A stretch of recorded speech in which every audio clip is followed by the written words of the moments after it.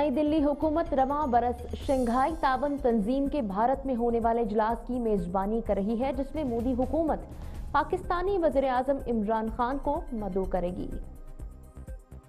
Bharat Shanghai تعاون تنظیم کے رواں برس اکتوبر میں ہونے والے اجلاس میں میزبانی کرے گا۔ بھارتی وزارت خارجہ کے ترجمان رویش کمار نے نئی دلی میں صحافیوں سے بات چیت میں کہا کہ بھارت رواں برس مختلف ممالک کے سربراہان حکومت کی میزبانی کرے گا۔ شنگھائی تعاون تنظیم کے طے شدہ ضابطے کے مطابق اس اجلاس میں تنظیم کے تمام آٹھ رکن ممالک اور چار مبصر ممالک سمیت بین الاقوامی مکالماتی شراکت داروں کو دعوت دی جائے گی۔ Now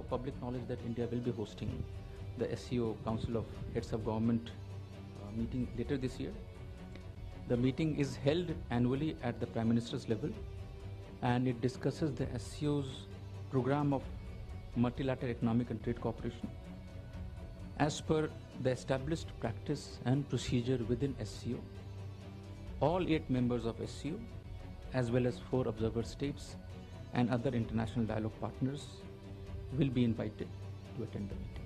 فی الحال پاکستان کی جانب سے اکتوبر میں ہونے والے تنظیم کے اجلاس میں شرکت کرنے کی تصدیق یا تردید نہیں کی گئی۔ تاہم، اگر وزیر اعظم عمران خان اس اجلاس میں شرکت کی دعوت قبول کرتے ہیں، تو وزارت عظمہ کا منصب سنبھالنے کے بعد یہ ان کا پہلا دورہ بھارت ہوگا۔ جبکہ سفارتی حلقے کا کہنا ہے کہ وزیر اعظم عمران خان کے دورے کی صورت میں دونوں ممالک کے درمیان کشیدگی پر قابو پانے میں مدد ملے گی۔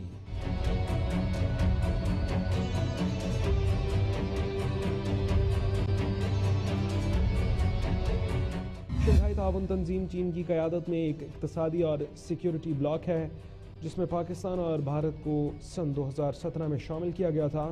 بھارت پہلی مرتبہ شنگھائی تعاون تنظیم کی میٹنگ میں میزبانی کر رہا ہے۔